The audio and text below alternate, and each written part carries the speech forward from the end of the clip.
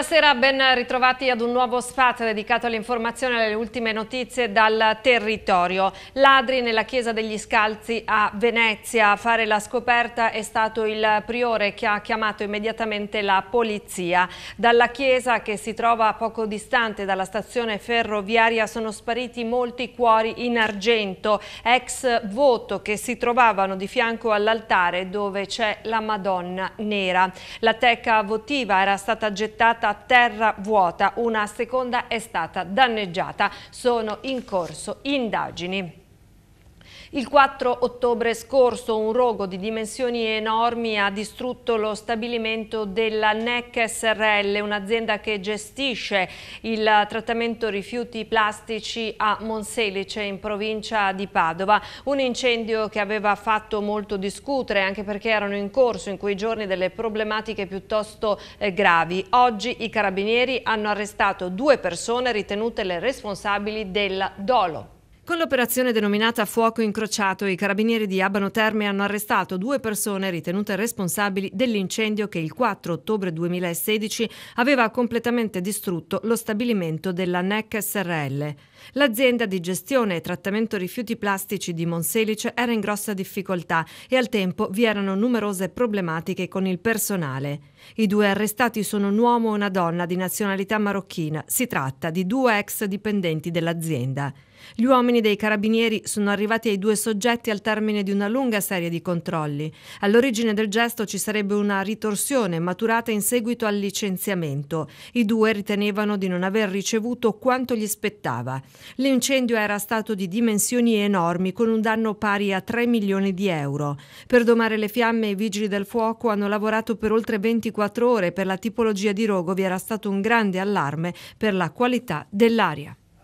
E adesso parliamo di richiedenti asilo presenti in Italia. Serve la possibilità di utilizzare i richiedenti asilo per lavori di pubblica utilità finanziati con fondi europei. Non si creerà una duplicazione nel mondo del lavoro perché non sarà un lavoro retribuito. Lo ha detto oggi il Ministro dell'Interno Minniti in audizione alle commissioni riunite affari costituzionali di Camera e Senato. Minniti ha detto che bisogna evitare il vuoto dell'attesa, ricordando che i richiedenti asilo aspettano fino a due anni una risposta alla domanda. È ricoverato in rianimazione un uomo di 40 anni rimasto ferito in un incidente sul lavoro avvenuto ieri a Camisano Vicentino. Per cause che sono ancora in corso di accertamento, l'uomo è rimasto ferito durante la pulizia di un silos uh, da una fresa che all'improvviso si è sganciata colpendolo in pieno alle gambe. I medici si stanno prendendo cura di lui e stanno facendo il possibile. E adesso dobbiamo parlare di un incidente, un incidente avvenuto tra due automobili e un mezzo pesante, scontro avvenuto a Curtarolo in provincia di Padova. Tanta paura, una donna rimasta ferita. Poco dopo le 13 di mercoledì i vigili del fuoco sono intervenuti lungo la provinciale 47 in via Cengio nel comune di Curtarolo in provincia di Padova per un incidente stradale. Coinvolte due automobili e un mezzo pesante, ferita una donna. I pompieri di Cittadella e Padova hanno messo in sicurezza i veicoli mentre la donna ferita che viaggiava a bordo di una Fiat 500 è stata stabilizzata da personale del 118 prima di essere portata all'ospedale. Medicato sul posto l'autista dell'altra auto per una piccola ferita, illeso l'autista dell'auto articolato. La polizia locale ha effettuato i rilievi per ricostruire la dinamica del sinistro. Le operazioni di soccorso sono terminate dopo un'ora. In palestra o a casa durante l'orario di lavoro non c'è stato scampo per un dipendente del comune di Treviso assenteista. L'uomo è stato sospeso dal servizio dal dirigente del settore risorse umane del comune di Treviso, titolare dell'ufficio disciplinare, un provvedimento richiesto dal sindaco Manildo. L'uomo era recidivo perché già sospeso in passato dall'attività lavorativa per sei mesi. E adesso una notizia che per fortuna ha un lieto fine. Un ragazzino scomparso è stato ritrovato a Venezia. Rintracciato alla stazione dei treni di Venezia un ragazzino che da alcuni giorni si era allontanato dalla sua casa di Udine. A trovarlo sono stati gli agenti della Polizia di Stato, specialità ferroviaria di Venezia, in servizio nella stazione Santa Lucia.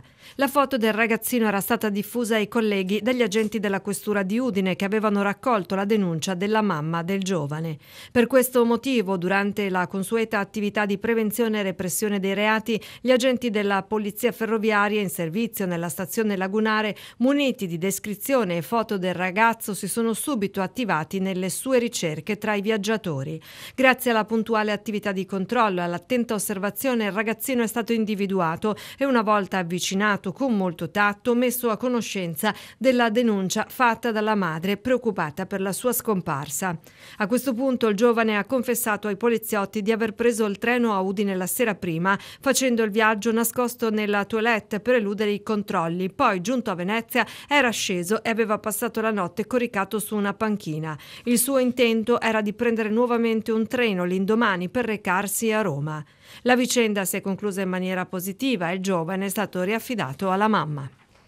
L'ASAPS, Associazione Sostenitori e Amici della Polizia Stradale, si costituirà parte civile nel processo che vede un 44enne di Peschiera del Garda, in provincia di Verona, accusato di omicidio stradale per la morte di Flavia Castagnini, una donna veronese di 50 anni. La sera del 19 gennaio scorso la donna viaggiava sull'auto condotta dal 44enne che, guidando ubriaco, perse il controllo del mezzo andando a scontrarsi frontalmente frontalmente con un'altra macchina condotta da una ragazza rumena di 28 anni.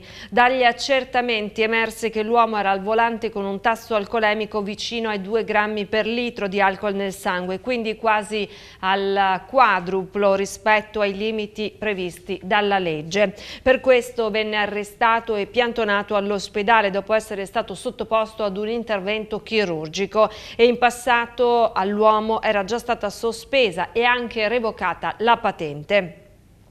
L'associazione Sostenitori e Amici della Polizia Stradale ha incluso questo tra quelli in Italia in cui si costituirà parte civile del processo dando mandato al proprio legale di attivarsi in vista del giudizio. Recentemente il Tribunale di Padova e quello di Frosinone hanno ammesso l'ASAPS in procedimenti simili per omicidio stradale.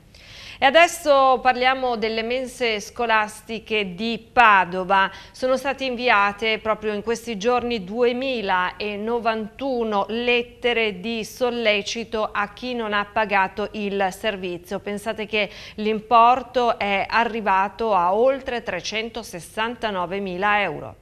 In questi giorni sono state inviate lettere di sollecito relative al servizio mensa delle scuole dell'infanzia primarie e secondarie di primo grado alle famiglie che risultavano non in regola con il pagamento per il corrente anno scolastico.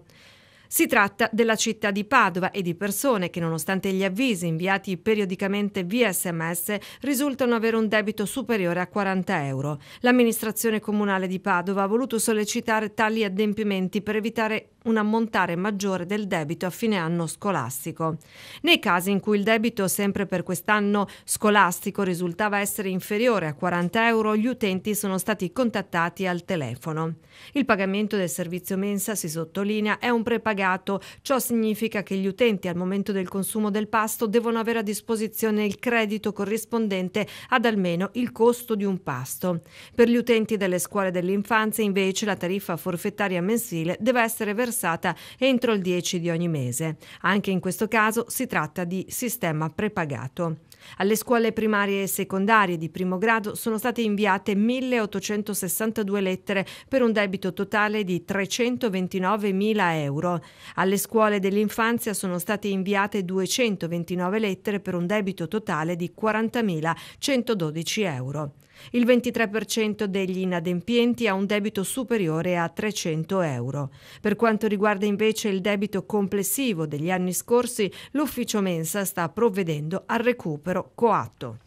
Identificati gli autori di un'aggressione subita da un ragazzino di 17 anni nel pomeriggio di ieri a Pordenone. Il gesto sarebbe stato originato da motivi personali poi degenerati. Sul posto è intervenuta la polizia che ha individuato i responsabili delle violenze. Si tratta di un 22enne della provincia di Venezia, uno di 19 anni e due minori. L'aggredito è stato medicato al pronto soccorso e giudicato guaribile in una settimana.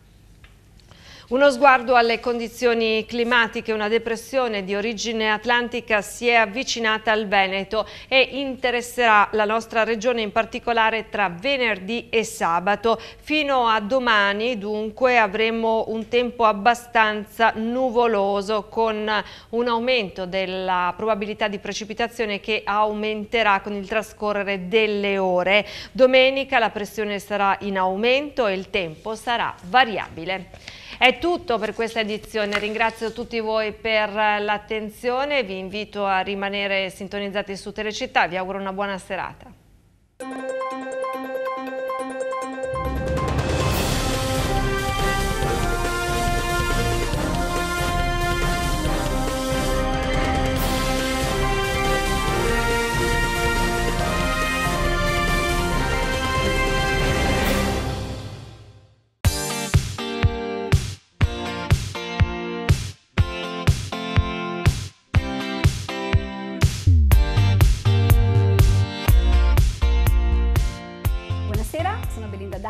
Trasmetto dallo studio Pilates e altro in centro Padova. Questa sera dobbiamo fare un po' il punto e parlare un attimo del Pilates. Vi abbiamo mostrato tanti esercizi, vi abbiamo dato tanti consigli, ho visto che dalle vostre risposte, dalle vostre telefonate, dalle vostre mail le avete messe anche in pratica e questo ci fa molto piacere, però dobbiamo soffermarci un attimo e capire bene eh, che cos'è questo Pilates, perché altrimenti non riesco a mandarvi il messaggio di eh, farvi capire perché dovreste scegliere noi come studio dove appoggiare la vostra salute mentale, fisica, per chi ha problemi ma anche per chi non ce li ha. Quindi il Pilates è un'attività che si differenzia dalle altre in quanto vuole agire dall'interno verso l'esterno.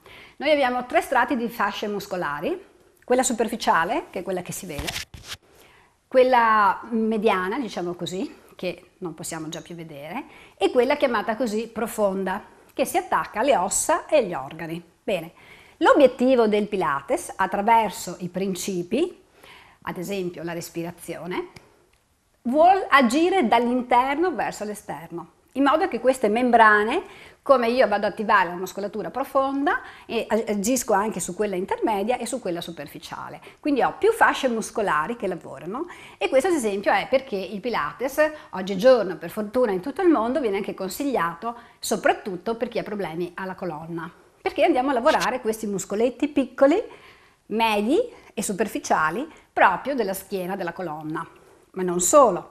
Ad esempio l'addome, chiamato cingolo pelvico, è molto importante perché è la nostra struttura del corpo, no? sul bacino si appoggia tutta la struttura. Quindi questa muscolatura deve essere forte per ad esempio non dare problemi quando non si è più giovani.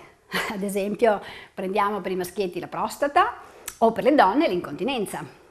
Ovviamente la gravità preme tutto giù, quindi se io non ho una muscolatura super, eh, superficiale intermedia e profonda che mi sostiene, ok? Tutto tende ad uscire.